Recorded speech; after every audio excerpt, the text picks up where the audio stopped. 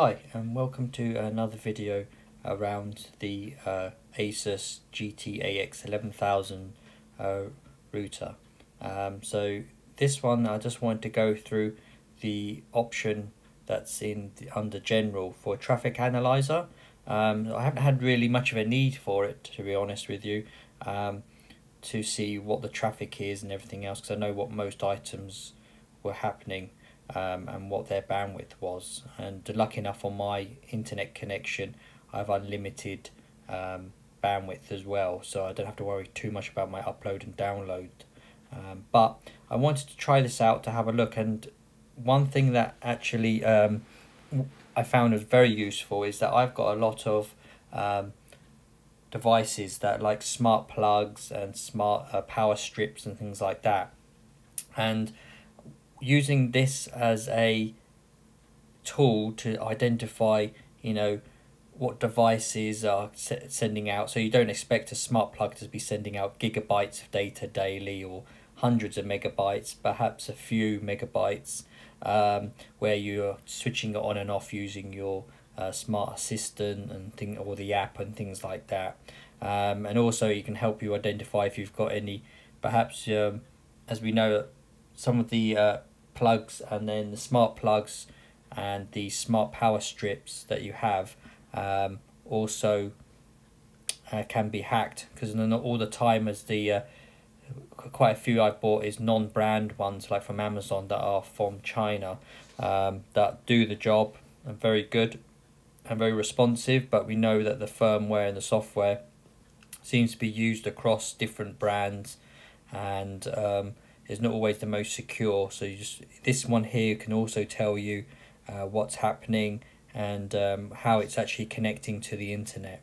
So as you can see here, um, I've got this for setting this for the 27th of December uh, and this is the day of recording and it can show you the daily traffic. So you can go display by clients, apps, and then you can show upload or download.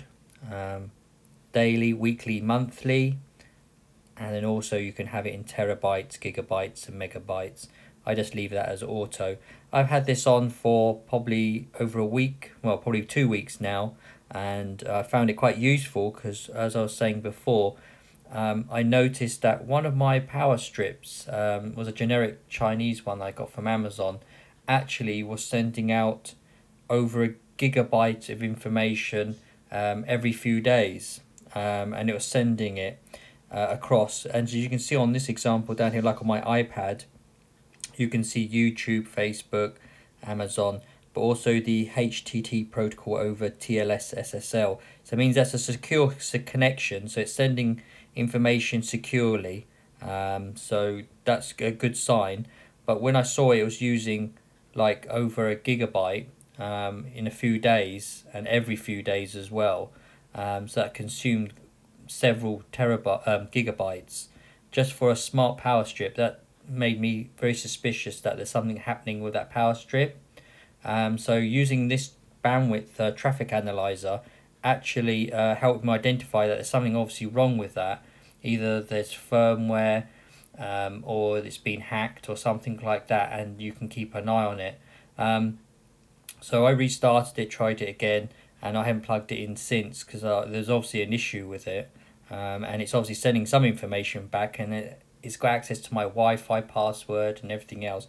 It was sending the information over the HTTP protocol um, over TLS SSL so it was sending it securely but I don't know where that data was going to um, and then what data it was and it seems just an awful lot of data that PowerStrip was using and if you've heard in the news a lot of these cheaper um, IoT devices like smart plugs and and power strips and things like that that are probably not upgraded with firmware uh, like you'll find with the TP Link ones or major brand ones. Well, actually, if those have got a security issue, they'll update. A lot of the generic ones they won't bother. Um, so the so a lot of security updates will come out, but the, the firmware will just stay there for years and not change. So that can cause an issue with the security on a network. So I've unplugged it and I've just now replaced it with a, uh, a TP-Link um, power strip.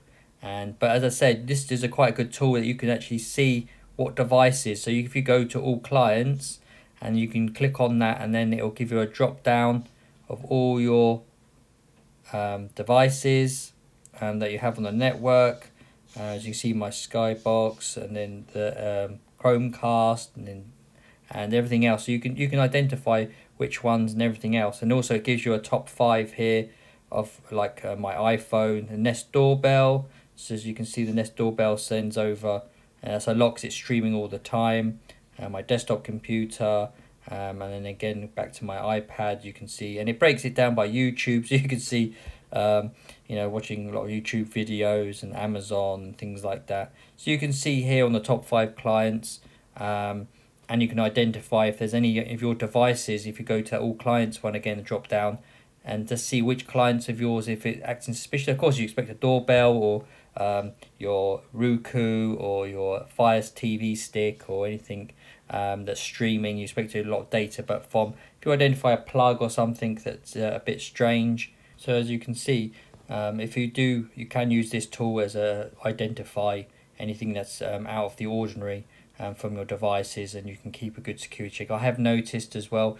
Um, using it for two weeks or so, there's been no major impact on the performance of the router, throughput, and copying files from one computer to another and my internet speeds in gaming.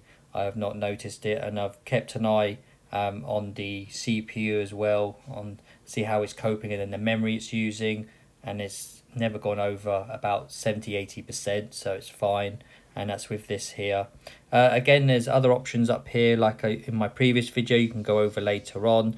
But I just wanted to give you an example of here how I use this statistics um, menu under the traffic analyzer identifying for security, just for your reassurance of your uh, network to make sure nothing peculiar was going on and things like that, how you can use this tool and how it doesn't really affect anything else. And I just left this on. The others I've switched off, I don't really need to know.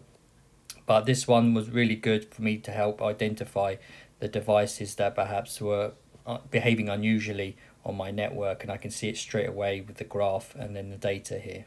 I hope this has been useful. And as usual, if you have any questions, uh, leave them in the comments and uh, I'll try and answer them. All right, thanks for watching and have a good day. Thank you. Bye.